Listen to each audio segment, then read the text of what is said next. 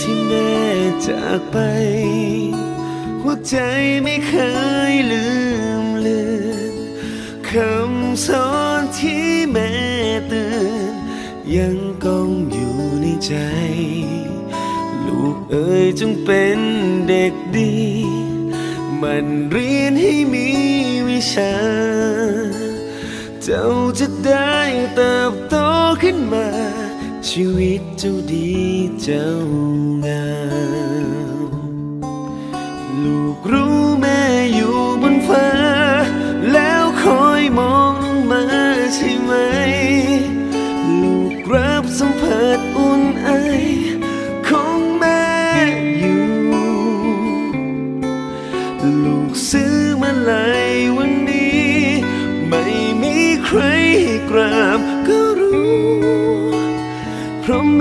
อยู่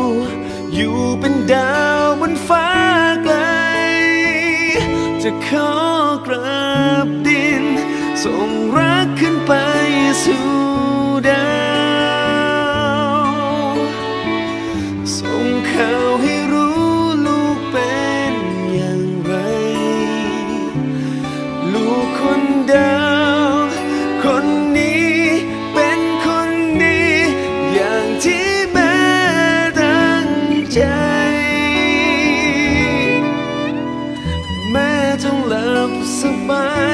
คียงข้า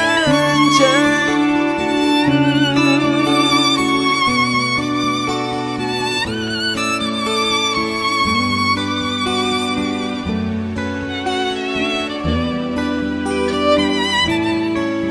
ไม่ได้เคยน้อยเนื้อต่ำใจ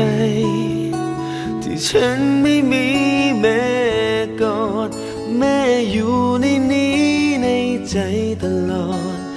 ฉันรู้สึกเรื่อยมา หากว่ามีพรอยู่จริง สิ่งที่ฉันต้องการได้มา เกิดอีกทีกี่ปีข้างหน้า ขอให้เป็นลูกแม่ ลูกรู้แม่อยู่บนฟ้า แล้วคอยมองลงมาใช่ไหม สัมผัสอุ่นไอของแม่อยู่ ลูกซื้อมาลายวันนี้ ไม่มีใครกราบก็รู้ เพราะแม่อยู่ อยู่เป็นดาวบนฟ้าไกล จะขอกราบดิน ส่งรักขึ้นไปสู่ดาว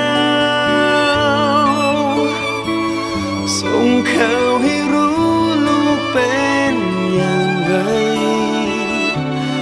ลูกคนเดาวคนนี้เป็นคนดีอย่างที่แม่ตั้งใจ แม่จงหลับสบายอยู่เคียงข้างคุณแม่พัชรีวงนันเป็นผู้บริหารโรงเรียนที่ ความรู้ความสามารถจริงใจจริงจังรับผิดชอบ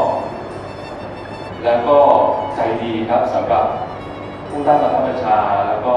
ผู้ร่วมงานตลอดจนนักเรียนสิทธิ์สิทธิ์ลูกศิษย์ทั้งหลายนะครับแล้วคุณแม่ทำงานและมีความภาคภูมิใจในความเป็นข้าราชการของพระบาทสมเด็จพระเจ้าอยู่หัว และเป็นข้าราชการของแผ่นดินตลอดกาลวาระสุดท้าย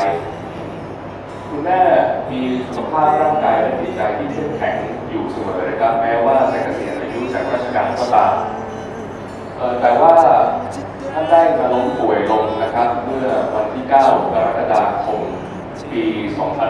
2561 ก่อนหน้านี้ไม่มีสัญญาณใดที่บ่งบอกถึงความเจ็บไข้ได้ป่วยมาก่อนเลยยังคงเป็นผู้หญิงเป็นผู้บริหารเป็นอดีตผู้บริหารที่มีความเข้าห้องกระฉับกระเฉงนะครับ ไม่มีเขาของความเจ็บป่วยหรือว่าความแก่ชราเลยคุณแม่ได้มีอาการไอเป็นเลือดนะครับ เราก็ตกใจครับนำคุณแม่เข้ารับการตรวจรักษาที่โรงพยาบาลเอกชนแห่งหนึ่งนะครับจนได้มีการตรวจขั้นพื้นฐานว่าท่านเป็นมะเร็งปอดแต่ไม่ทราบว่าจะลามไปที่อื่นหรือไม่ต้องรับการรักษาอย่างละเอียดต่อไปอย่างไร ทราบในตอนนั้นนะครับเราได้ตัดใจพาคุณแม่จากโรงพยาบาลเอกชนนะครับ ไปเข้ารับการรักษาที่โรงพยาบาลศรีวิราชนะครับในวันที่ 9 กรกฎาคมปี2511นะครับแล้วก็เข้ารับการตรวจอย่างละเอียดในทุกระบบนะครับ แล้วเราก็พบว่า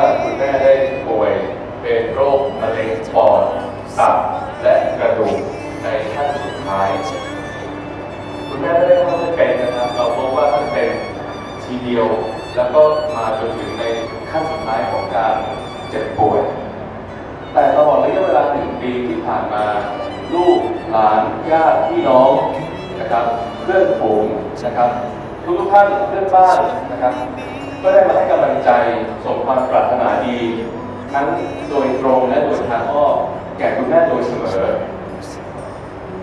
ในตลอดระยะเวลาหนึ่งปีที่ผ่านมาคุณแม่ไม่ได้มีความเจ็บป่วยเจ็บปวดทรมานถึงขั้นอดรนทนไม่ได้นะครับก็ด้วยความเห็นอกเห็นใจของทุกท่านในที่นี้และที่ไม่ได้อยู่ในที่นี้ด้วยนะครับ คุณแม่ก็จะมาล้มป่วยจริง ๆ ในสามวันสุดท้ายของบ้านปลายชีวิตของท่าน คือเมื่อวันจันทร์ที่ผ่านมานะครับวันจันทร์ที่ผ่านมาคุณแม่มีนัดพบแพทย์เป็นประจำอยู่แล้วนะครับ แพทย์ดูอาการแล้วพบว่าคุณแม่เริ่มที่จะมีสัญญาณของของความผิดปกติอย่างร้ายแรงเกิดขึ้นจึงได้รับการรักษาไว้ในโรงพยาบาลศิริราช อาจจะนั้นมาถึงคืนในวันอังคารคุณแม่มีอาการทรุดลงเป็นลำดับ และในวันพุธคุณแม่ก็จากไปด้วยอาการสงบครับหลายท่านที่ได้มาร่วมในพิธีรับพระราชทานน้ำหลวงตามศพในคืนแรก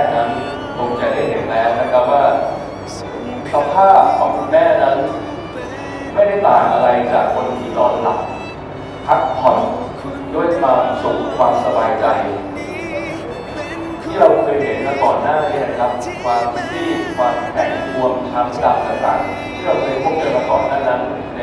กรณีของร่างอันไร้วิญญาณโดยทั่วไปไม่ได้เกิดขึ้นเลยกับคุณแม่ทัชนีวงศ์นันต์ส่วนหนึ่งอาจจะเป็นเพราะว่าท่านทำบุญมาเยอะ แต่ผมเชื่อว่าว่า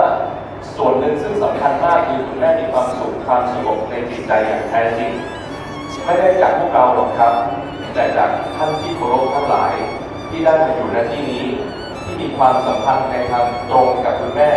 หรือโดยทางอ้อมกับคุณแม่ก็ตามไม่ว่าจะเป็นเรื่องของลูกเรื่องของพี่เรื่องของน้อง ลูกศิษย์ลูกหาใครก็ตามครับที่มีความสัมพันธ์กับคุณแม่และช่วยส่งเสริมและทำให้คุณแม่ได้อยู่เย็นเป็นสุขและจากไปอย่างสุขสงบและสง่างามในนามของลูกหลานญาติพี่น้องครับ ผมก็ขอกราบขอบพระคุณขอบคุณผู้ทุกท่านครับ ที่ได้มีส่วนช่วยทำให้คุณแม่ได้จากไป อย่างสงบไปสู่สวงสวรรค์ไปอยู่ในที่ที่ท่านควรจะได้อยู่เป็นนางฟ้าของลูกชั่วนิรันดร์ลูกรู้แม่อยู่บนฟ้า แล้วคอยมองลงมาใช่ไหม ลูกรับสัมผัสอุ่นไอ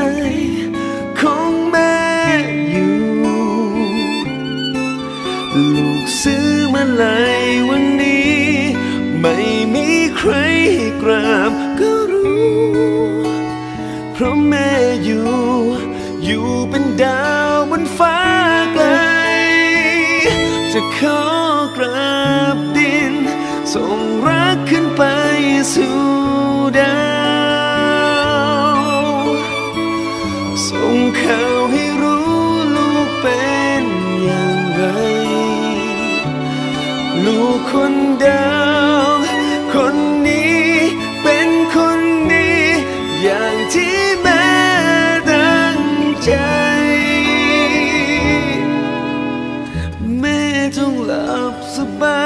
บาย